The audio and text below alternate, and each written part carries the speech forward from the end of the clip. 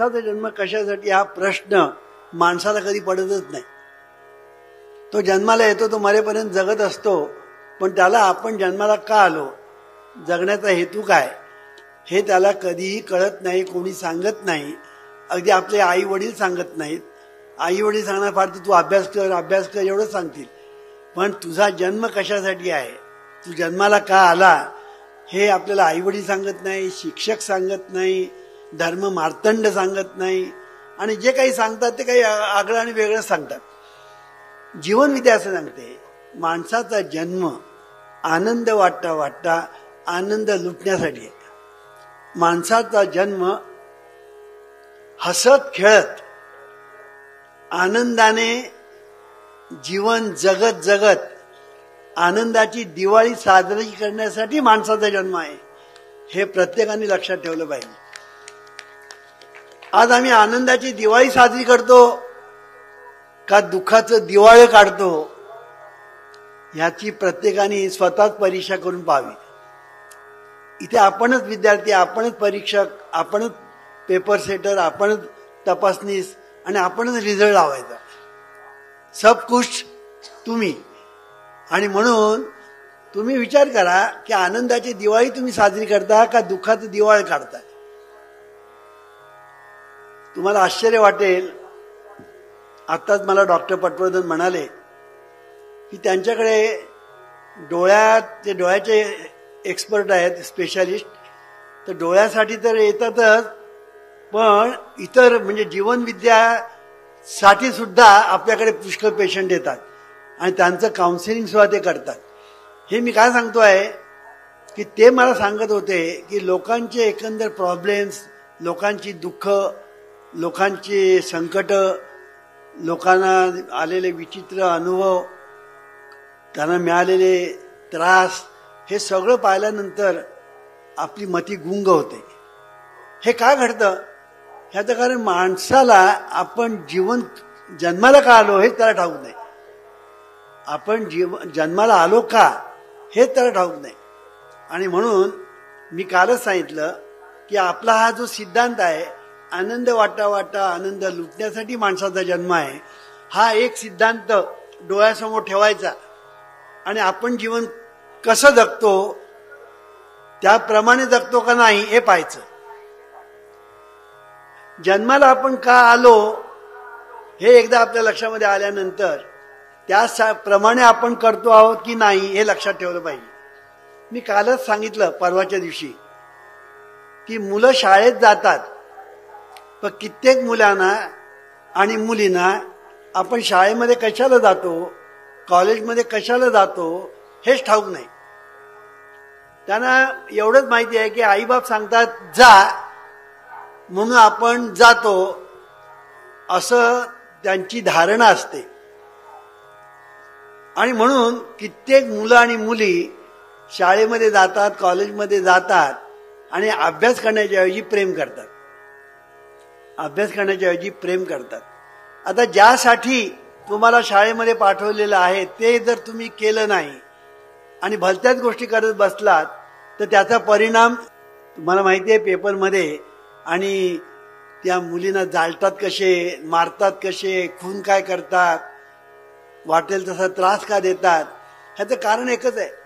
हे जे अभ्यास करण्यासाठी आपण शाळेत जातो हे त्या मुलालाही कळत नाही त्या मुलींनाही कळत नाही प्रेमाच्या चाळीमय करत बसतात. आणि त्याच्यातून त्यांना शिक्षा भोगावी लागते. जे करण्यासाठी तू जन्माला आलेला आहे ते तू न करता तू दुसरं जेव्हा काही करत असतो तेव्हा तुला शिक्षा होते. तेव्हा तुला शिक्षा होते. म्हणून विद्यार्थ्यांनी लक्षात ठेवलं पाहिजे की आपण शाळेमध्ये जातो कशाला? शिकण्यासाठी. शिकायचं कशासाठी? ज्ञान मिळवण्यासाठी ज्ञान कशाला मिळवायचं? की कुठल्या तरी ह्याच्यामध्ये आपण टॉपला जाण्यासाठी. टॉपला कशासाठी जाण्याचं जायचं? राष्ट्राला टॉपला नेण्यासाठी. शेवटी एक लक्षात ठेवायचं की आपलं ध्येय राष्ट्र असलं पाहिजे. प्रत्येक मुलाचं प्रत्येक मुलीचं प्रत्येक माणसाचं प्रत्येक स्त्रीचं प्रत्येक पुरुषाचं एकमेव ध्येय असलं पाहिजे राष्ट्र. राष्ट्र प्रगतीपथावर न्यायचं. सर्वार्थाने सर्व राष्ट्रांच्या पुढे प्रगतीपथावर न्यायचं. यासाठी एक संपूर्ण ध्येय आपल्या डोळ्यासमोर सतत ठेवायचं आणि त्यासाठी अभ्यास करायचा. त्यासाठी मेहनत घ्यायची त्यासाठी कष्ट करायचे त्यासाठी काम करायचं त्यासाठी कार्य करायचं त्यासाठी वेळ काढायचा आणि त्यासाठी जगायचं आणि त्यासाठी मारायचं. जगायचंही राष्ट्रासाठी आणि मरायचंही राष्ट्रासाठी. हे सतत आपण आपल्या डोळ्यासमोर ठेवलं पाहिजे. सतत. आणि म्हणून अभ्यास करा. ज्ञान मिळवा. तुम्ही ज्ञानी व्हा. तुम्ही हुशार व्हा. तुम्ही बुद्धिमान व्हा. म्हणून विद्यार्थ्यांनो इथे खूप विद्यार्थी आलेले आहेत. म्हणून जीवन विद्या असं सांगते की आनंद वाटता वाटता आनंद लुटण्यासाठी माणसाचा जन्म आहे. हा सिद्धांत लक्षात ठेवून प्रत्येक माणसाने जर जीवन जगण्याचा प्रयत्न केला तर तो जीवनामध्ये सुखी होईल यशस्वी होईल समृद्ध होईल. सर्व त्याला मिळेल काही मिळणार नाही. आणि म्हणून आपला जन्म कशासाठी हे सतत लक्षात ठेवलं पाहिजे. हे न करता तिसरंच काहीतरी जो करत बसतो ना तो नेहमी दुःखाच्या खड्ड्यात पडतो.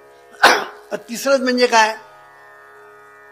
दारू पिणं गुटखा खाणं गर्द घेणं ड्रग्ज घेणं जुगार खेळणं पत्ते खेळणं अशा ह्या नाना तऱ्हेच्या ज्या गोष्टी आहेत की ज्या करण्यासाठी आपण जन्माला आलेलो नाही पण त्या आपण करतो आहोत त्यावेळेला तुम्ही खड्ड्यामध्ये जाऊन पडता.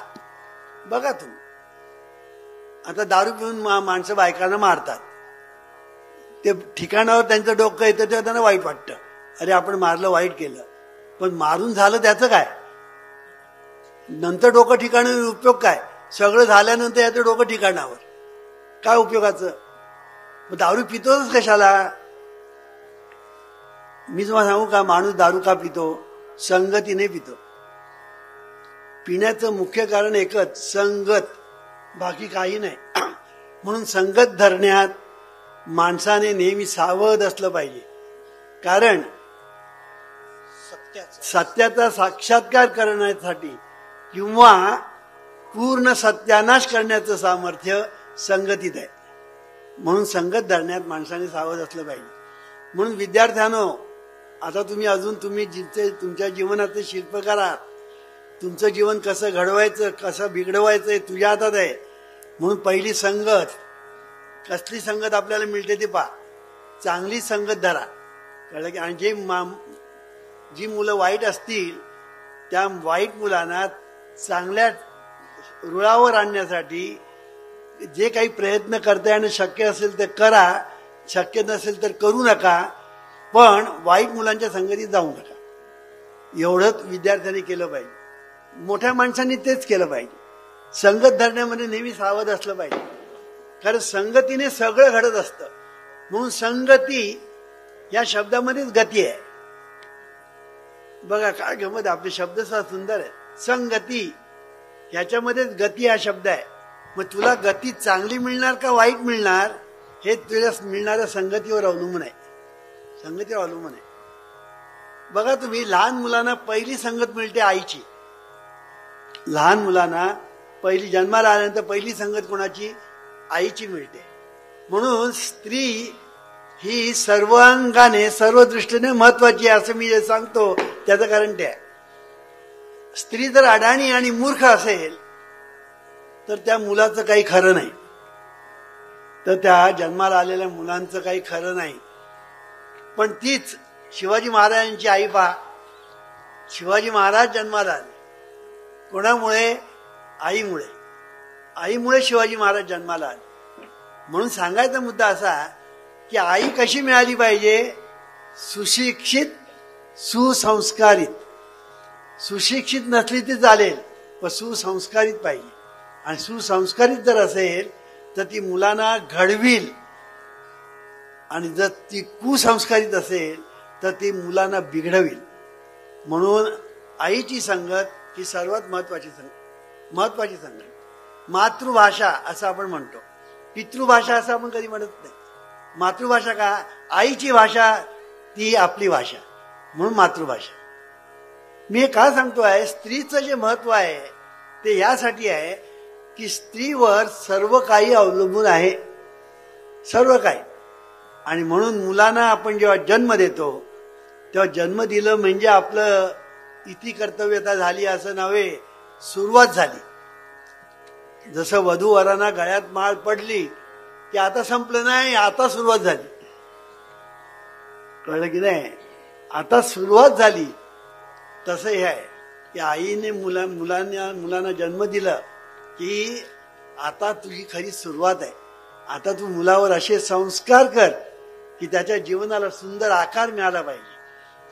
असे संस्कार कर की जीवनाला सुंदर आकार मिळाला पाहिजे. आज जगाचं सगळं राड बिघडलेलं आहे. बघा तुम्ही. जगातच सर्व ठिकाणी मारामाऱ्या दंगे धोपे युद्ध लढाया भांडण टंटे हे सगळं चाललेलं आहे. घरात दारात पक्षात राष्ट्रात विश्वात सर्व ठिकाणी चाललेलं आहे. ह्याचं कारण का? याचं एकच कारण संस्कार मिळत नाहीत. जे संस्कार दिले गेले पाहिजेत ते संस्कार दिले जात नाहीत. आणि अनिष्ट संस्कार जे आहेत ते दिले जाते आणि त्याच्यातून सर्व अनिष्ट निर्माण होत आणि म्हणून मी कालच पहिल्याच दिवशी सांगितलं धर्म जात पंथ वंश भाषा ह्या सगळ्या ज्या गोष्टी आहेत ह्याच्यामुळे आज किती या राष्ट्रामध्ये सुद्धा किती दंगे झोपे झाले किती युद्ध लढाई झाल्या जगात किती झाल्या अजूनही होत आहेत. केवळ संस्कार वाईट. धर्मावर प्रत्येकाने प्रेम केलंच पाहिजे. याचा अर्थ तुम्ही दुसऱ्या धर्माचा द्वेष करावा असं नाही. तू तुझ्या धर्मावर प्रेम कर ना. तू तुझ्या आईवर प्रेम कर. याचा अर्थ बाकीच्या बायकांचा तू द्वेष कर असं नव्हे. तू तुझ्या धर्मावर प्रेम कर पण बाकीच्या धर्माचा द्वेष कशाला करतोस? पण हे आम्हाला कळतच नाही कारण संस्कार. म्हणून लहानपणापासून असे संस्कार दिले गेले पाहिजेत की त्याच्यातून माणुसकी निर्माण झाली पाहिजे.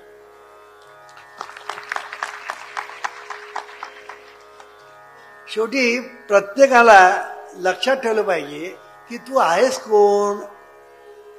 तू आहेस कोण? ब्रह्मबिंब आपण बाजूला ठेवूयात.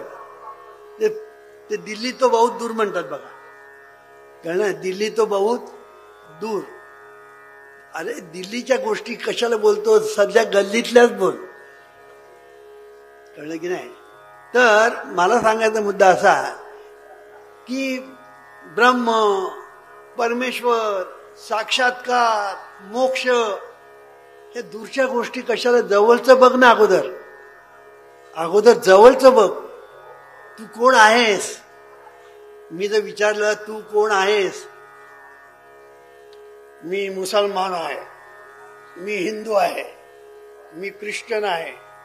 मी अमुक आहे. मी पण मी माणूस आहे असं कोण सांगतो का? पण आज आपण जर पाहतो आहोत की संस्कारच अशा अनिष्ट दिले जातात की त्याच्यातून एकमेकांचा द्वेष एकमेकांचा मत्सर एकमेकांचा तिरस्कार या गोष्टी निर्माण होतात. म्हणून माणसाचा जन्म कशासाठी आहे? हे लक्षात ठेवलं पाहिजे की माणसाचा जन्म आनंद वाटता वाटता आनंद लुटण्यासाठी आहे. तू माणूस आहेस इतरही माणसं आहेत तो कुठल्याही धर्माचा असू दे तो कुठल्याही जातीचा असू दे तो कुठल्याही पंथाचा असू दे तो कुठल्याही वंशाचा असू दे तो माणूस आहे. आणि म्हणून मी त्याच्याशी माणसासारखं वागलं पाहिजे आणि इतरांनी माझ्याशी माणसासारखं वागलं पाहिजे. एवढं जर झालं ना जगामध्ये सुखाचा सुखा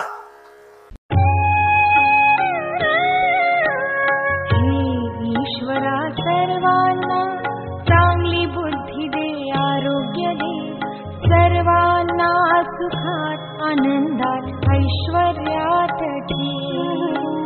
सर्वान् सभना कर् कल्याणकर रक्षण कर्.